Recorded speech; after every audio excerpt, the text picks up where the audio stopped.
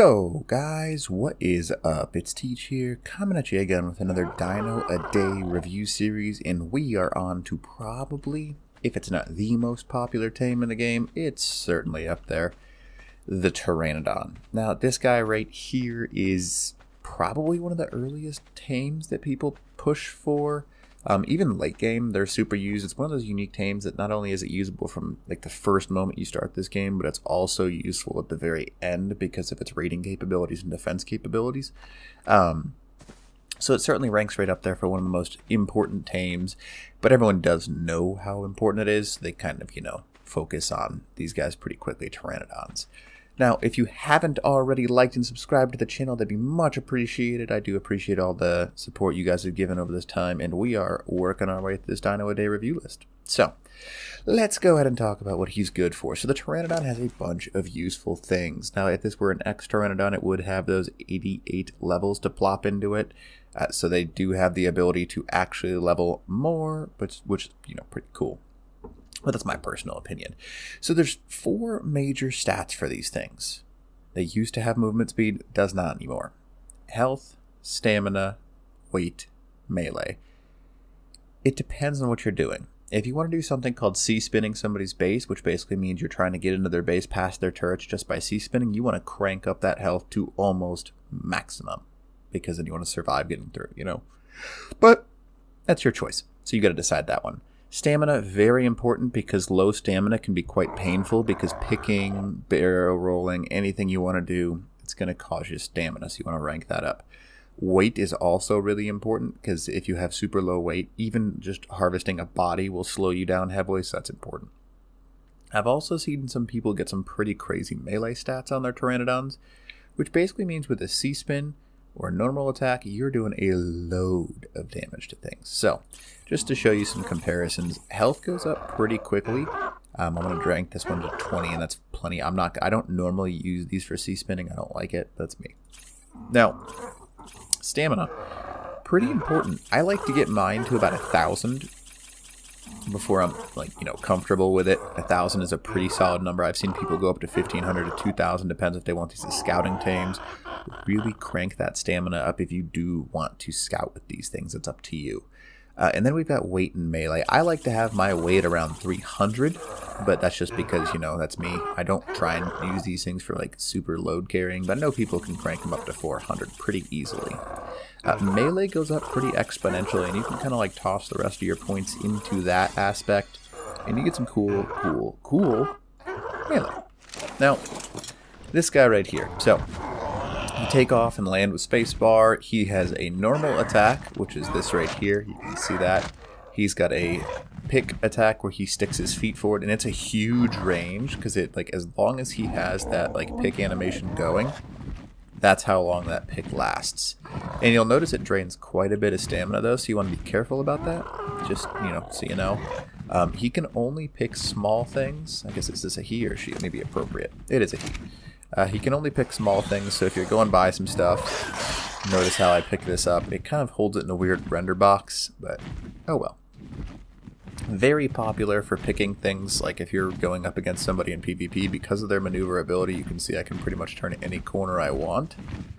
And people that are talented with these things just like you know do these funky paths and then they turn around and do that 180 like that right there and pick you while flying backwards. It's a very popular technique. If you're right next to somebody you literally just do that and boom picked. Um, that's a very popular technique where people literally are just doing a 180 pick and it counts the entire way so you can really surprise some people.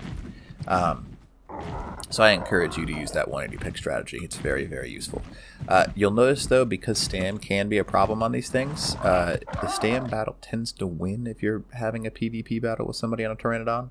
So using less stuff is always a good idea. Less of that stamina use is a very, very good idea. Now, they do have one more attack, that's C-Spin. Now, C-Spin, what is it? It's actually really nice. Um, a normal attack, just so you can see the damage it does, 128. Now, if I was to C-Spin this thing, 358. So, it's a double increase right there, basically. Sometimes you can get a little bit more. Um, it depends entirely on what you're rocking. C-Spin drains a ton of stamina. you'll notice by looking at my stamina bar, every time I do it, we're talking like a 15-20% decrease in stam, which is a huge difference. Um, so just keep that in mind. That's something that you should you know, watch. But stamina can be very, very useful on these things, so if you want to crank it up more than I did, be my guest. That's totally cool.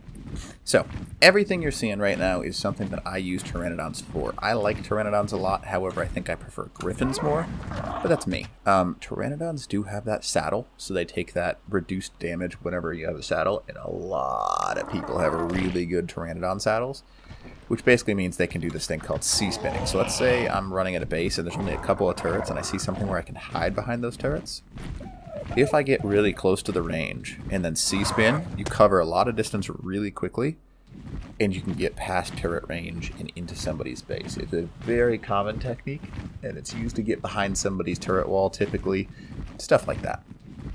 However, another useful thing these Pteranodons are good for is getting eggs of wyverns. Now, this is the Ragnarok, not hidden, it's called the Sanctuary, the Wyvern Sanctuary. And it's a very common place that people use that know this map pretty well to get wyvern eggs. Um, and I'll show you how to do it. Basically, you just want to get out or in and out of this zone as quick as possible. Man, look at some of these wyverns. They are so pretty. This this Easter event still going on technically. All right, so what we're going to do is we're going to go ahead and go full speed into this little scar. Grab an egg, and again, what you want to be really careful of is this egg will weigh down your Pteranodon heavily. So be very careful of that because you want to make sure you have very minimal stuff on you. Um, and you want to try and stay away from wyverns because you have a much better turn radius. Uh, wyverns do not do very well against pteranodons. The only wyvern you want to watch out for, the lightning wyvern. Um, so that's you know kind of that. Uh, what you can do to be careful, and that's why I like the Sanctuary over the Ragnarok other side Wyvern Scar, this little lip right here allows you to trap Wyverns really easily and uh, run from them. So take that for what you will. Um, so basically, you'll go up in here, and this is where all the wyvern eggs are located. I don't know if they're in, sometimes in solo player there's an issue with spawning of these eggs. So there might, oh, there's one, never mind. Got one. So what you want to do, find an egg that you like, check the area, because you'll notice there's a couple of wyverns falling around. As soon as they realize I take this egg, boom, I am in big trouble. Land, please. There we go. So make sure your Pteranodon is close by. You can see there's an egg right there. I'm going to yoink the egg. All them wyverns are going to come for me because they're going to be pissed in what you do. That is a dangerous one. You want to be careful of that guy. You can see spin out of their range. I would really encourage you to stay nice and high, and I'll show you why in a second here. You're going to go ahead and go down real quick. And then boom, we are outside. And this is why I like this over the Wyvern Scar. You'll have a Wyverns to deal with on the outside, but everything that was just chasing me on the inside is stuck inside this uh, little area. Um, I don't think I can do enough damage to this Wyvern to really kill it. But if you're good with these things, you can kind of... Alright, I have no idea what happened there. I just couldn't stop coughing for a second. My bad. Uh, so I, will go ahead and you know, mute that part out. But oh well. So, on the outside, you will have some wyverns to deal with, but because in this area you've got so many little nooks and crannies and they have such a huge turn radius, it is very easy to lose these wyverns um, inside like the little components around here. Now, I usually go ahead and go up high, and you can see I lost one already, and then if you stick to these corners and uh, hug them nice and tight, I lost that one. We're just looking on one more. Keep an eye on your stamina, but you can usually drop these wyverns off pretty quickly. Um, and if not, use everything to your advantage. Oop, I accidentally got one back. Um, and you can kind of go through the trees. The trees are a great way to lose wyverns um, and C-spinning as well. So we're going to go ahead and go over to these trees, and boom, we will be safe. Wyverns cannot make it through the trees very easily, so uh, we will eventually lose them. It's just a process. And they will attach to another victim nearby if they lose that render range. And we should be good now. Yep, they have gotten bored. Um, so this Pteranodon is a great way to get your first Wyvern egg. They can outrun them if you're careful and use your C-spin. Notice how I'm low on stam now. That's why you want to keep an eye on that. And then land. Now, they do not have a very high health stat, so if you do get caught, you're in trouble. But then again, I mean, that's the point of going in there is to get a wyvern egg. So, you know, you got what you came out for. So it doesn't really matter. Up to you. Now, another popular thing these uh, Pteranodons are used for, they can use to carry things, but you can also fit them in much smaller locations. If you've never seen this type of area, this is over on Ragnarok. I don't even know technically what it's called, the Ruins, something like that.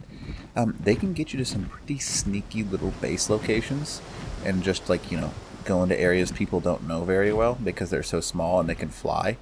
Uh, so you can go inside an area like this, put your stuff on your Pteranodon in a PvP style server, and you know, hide your Pteranodon up in here where people can't build anyways. Which can mean that you are, you know, completely safe for the day. Uh, and your Pteranodon will just like store your stuff in here for you. And not many people like check this kind of area because it's super hard to see, and uh, you can't build in here anyways. So pretty cool little spot. Uh, serve as great loot storage, and you know, there's lots of little locations you can store a Pteranodon, and uh, people would have no idea you're there. Um, even if you're looking for my Pteranodon, it'd be hard to notice it because it kind of blends in. And typically people aren't huge jerks when it comes to Pteranodons. They kind of like let them be.